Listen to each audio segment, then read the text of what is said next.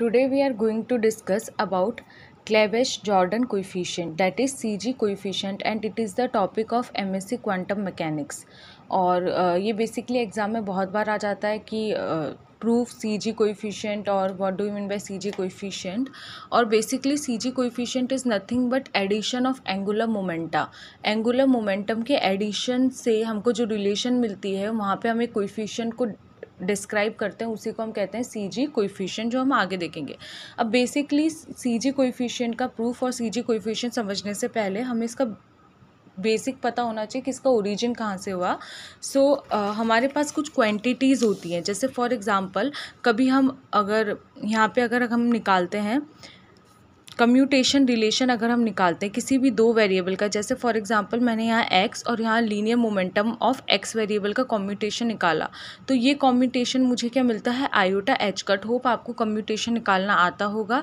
जैसे कि for example x का अगर मेरे को ये linear momentum of variable x का निकालना है तो यहाँ पे पी को हम लिख सकते हैं minus iota h cut del upon del x और जब इसका कम्यूटेशन हम निकालेंगे तो ये हमको निकल के आएगा iota h cut that means that कि हम मोमेंटम और पोजीशन को साइमल्टेनियसली डिटरमाइन नहीं कर सकते। ये चीज़ हमने देखी थी हेजनबर्ग अनसर्टेनिटी प्रिंसिपल में, जहाँ पे we can not determine the momentum and position simultaneously इसका मतलब है कुछ एरर मिलेगा, और वो जो एरर हमको मिलता है, वो एरर हमें मिलता है आयोटा एच कट तो अगर किसी चीज़ का कम्यूटेशन हमको कुछ वैल्यू देता है, कुछ वेरिएबल देता है तो डैट मीन्स दैट वो उसका एरर है मीन्स हम दोनों क्वांटिटीज़ को एक साथ डिफाइन नहीं कर सकते, एक साथ कैलकुलेट नहीं कर सकते, एक साथ मेजर नहीं कर सकते। जैसे कि फॉर एग्ज़ाम्पल हमारे पास एंगुलर मोमेंटम है, यानी कि L square and L z हमारे पास है z component of angular momentum and magnitude of angular momentum अगर हमारे पास है, इसका वैल्यू हमें ज़ीरो मिलता है। अब इसका हम चाहे तो z कंपोनेंट ले लें, चाहे x कंपोनेंट ले लें, चाहे y कंपोनेंट ले लें, इन सब का कम्यूटेशन हमको मिलता है ज़ीरो दैट मीन्स दैट हमको एरर मिला है ज़ीरो विच मीन्स कि हम एल स्क्वायर और एल जेड एल एक्स और एल वाई को एक साथ साइमल्टेनियसली मेजर कर सकते हैं। हम इसका वैल्यू एक साथ मेजर करके निकाल सकते हैं। मीन्स ये दोनों आपस में इंडिपेंडेंट है। दोनों का दोनों आपस में डिपेंडेंट नहीं करेंगे। एक की वजह से दूसरे में कोई चेंज नहीं आएगा। सो so, ये था बेसिक जो चीज़ हमको यहाँ पे जानना था इसको पढ़ने से पहले। अब देखते हैं हम। Consider two non interacting system हमें यहाँ दो नॉन इंटरेक्टिंग सिस्टम लेंगे। नॉन इंटरेक्टिंग सिस्टम मीन्स जो एक सिस्टम होगा, उसमें जो भी चेंजेस आएँगे, वो दूसरे सिस्टम को अफेक्ट नहीं कर रहे होंगे। तो हमने यहाँ दो सिस्टम लिए हैं one and two with angular momentum J one and J two अब हम यहाँ एंगुलर मोमेंटम ले रहे हैं जे वन या जे टू आप एल वन एल टू ले सकते हैं। तो एंगुलर मोमेंटम हमने यहाँ लिया J one J two J one जो है, वो फ़र्स्ट सिस्टम का एंगुलर मोमेंटम है और जे टू सेकेंड का, और दोनों सिस्टम है non interacting let their eigen state भी अब हम यहाँ पे इनकी आइगन स्टेट डिफाइन करेंगे। ये जो हमने इसको लिखा है कैट में लिखा है। कैट ऑपरेटर में लिखा है, आपको मालूम होगा कि ये जो साइन होता है कैट का होता है और ये जो साइन होता है, ये वाला, ये होता है ब्रा ऑपरेटर का। ठीक है? होप ये आपको मालूम होगा। तो हम यहाँ पे कैट में डिफाइन करेंगे J one and m one अभी जे वन और एम वन हम किसके लिए डिफाइन कर रहे हैं? फॉर फ़र्स्ट फ़र्स्ट सिस्टम और सेकंड सिस्टम के लिए हम कैसे लिखेंगे? कैट जे टू और एम टू। अब यहाँ पे अब आपने देखा होगा कि J square when operating on J and m value क्या मिलती है? हम इसके आइगन वैल्यूज़ क्या मिलती हैं? हमारे पास अगर क्वांटिटी है, जे स्क्वायर, अगर हम, यानी कि एंगुलर मोमेंटम स्क्वायर अगर हम यहाँ पे जे एम पे ऑपरेट कराते हैं तो इसका हमको आइगन वैल्यू मिलता है J into J plus one h cut square और जे कॉमा एम तो जे स्क्वायर जब किसी फ़ंक्शन पे ऑपरेट होता है, हमको इसका आइगन वैल्यू मिलता है J into J plus one और एच कट स्क्वायर तो यहाँ से अगर अपन फ़र्स्ट सिस्टम की बात करेंगे तो उसको हम लिखेंगे J one square J comma J one comma m one हमको कितना मिलेगा? J one J one J one plus one h cut square और J one comma m one हमको ये वैल्यू मिल जाएगी। सिमिलरली अगर हम जेड कंपोनेंट के लिए लिखेंगे तो यहाँ पे क्या होगा? जब भी हम जे जेड यानी कि एंगुलर मोमेंटम के जेड कंपोनेंट की अगर हम बात करते हैं और इसको ऑपरेट कराते हैं तो स्टेट पे, किसी आइगन स्टेट पे तो हमको इसका जो आइगन वैल्यू मिलता है, वो मिलता है एम एम अब यहाँ पे एम एच कट और हमें मिलेगा जे कॉमा एम हमें ये वैल्यू मिलती है। एक सेकेंड तो हमें कुछ ये वैल्यू मिलेगी। Actually there is some mistake it will be m one means it ये होता है, अगर यहाँ पे जे जेड ऑपरेट होता है जे कॉमा एम पे तो हमें वैल्यू मिलती है m h cut J comma m अब क्योंकि हमने यहाँ पे क्या है स्क्वायर दे रखा है तो यहाँ पे जब एंगुलर मोमेंटम का जेड कॉम्पोनेंट होता है तो वो होता है m h cut J comma m cancel that square क्योंकि ये क्या ले रहे हैं हम?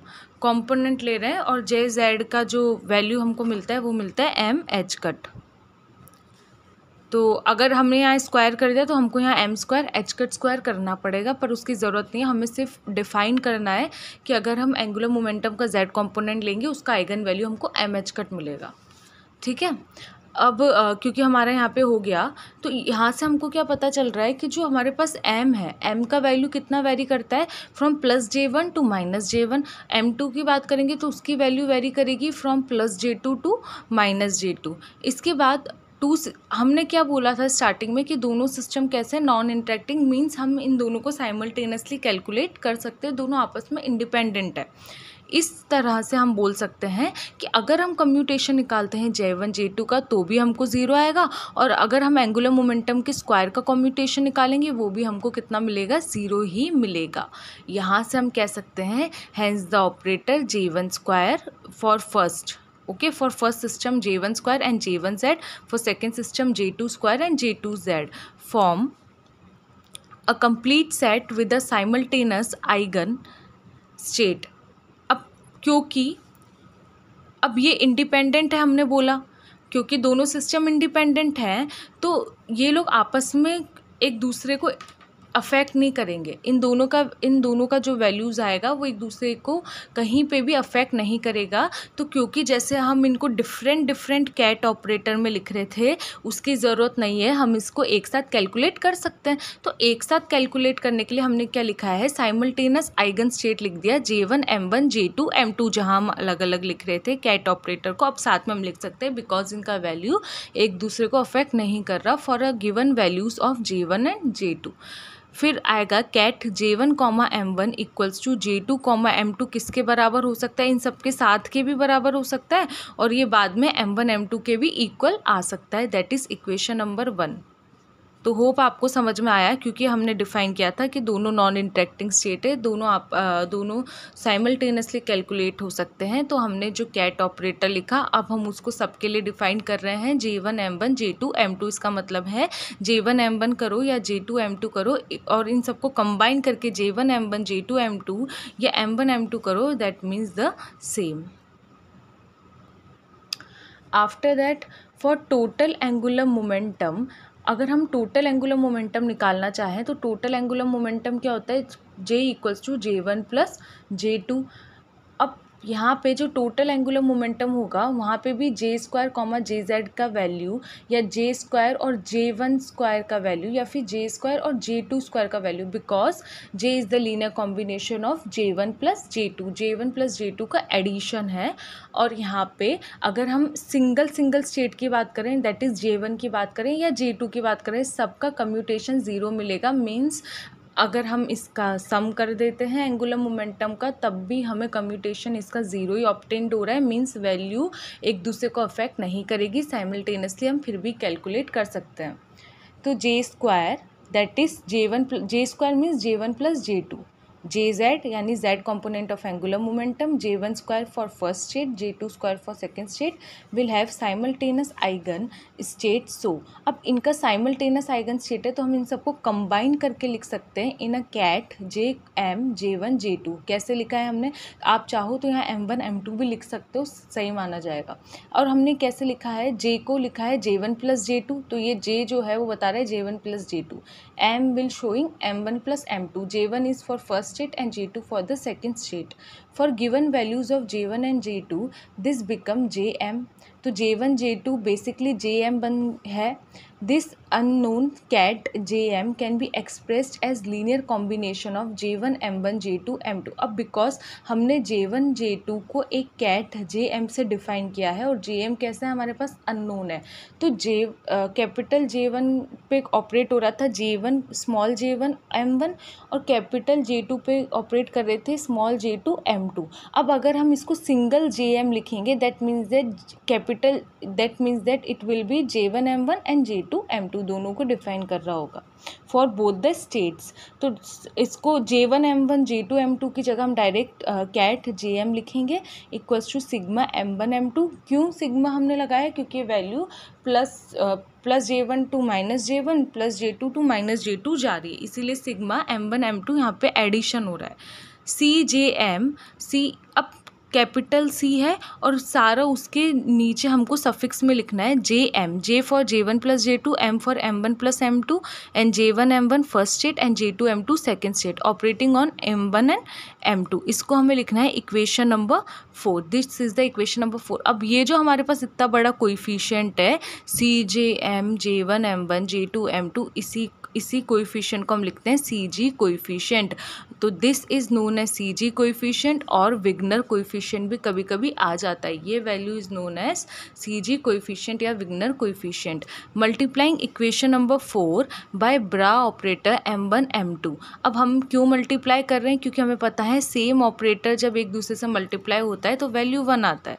तो हमने मल्टीप्लाई इसलिए किया क्योंकि हमें मालूम है एम वन एम ओके हमें मालूम है एम वन एम टू और M bra M one M two और ket M one M two का जो वैल्यू आएगा, हमें मिलेगा वन तो यहाँ पे जब मल्टीप्लाई करेंगे, यहाँ से हमें सी जी कोइफिशेंट ऑप्टेंड हो सकता है।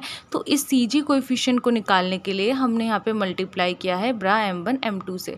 तो डायरेक्ट हमें सी जी कोइफिशेंट मिल गया और यहाँ पे हमको इधर मल्टीप्लाई करेंगे तो हमें मिला है bra M one M two and ket J M अब ये जो इक्वेशन नंबर फाइव है, इस इक्वेशन नंबर फोर में जो यहाँ पे सी जी कोइफिशियंट है, उसका वैल्यू हम लिखेंगे इक्वेशन नंबर फाइव से। तो अगर हमने वैल्यू लिखा तो ये जो जे एम था, वो जे एम वैसा का वैसा हमने यहाँ लिख दिया equals to sigma M one M two अब ये सी जी कोइफिशियंट की जगह हमें क्या लिखना है? ये जो वैल्यू हमने निकाली है that is M one M bra M one M two ket J M and ket M one M two तो यहाँ पे आपका प्रूफ एंड होता है।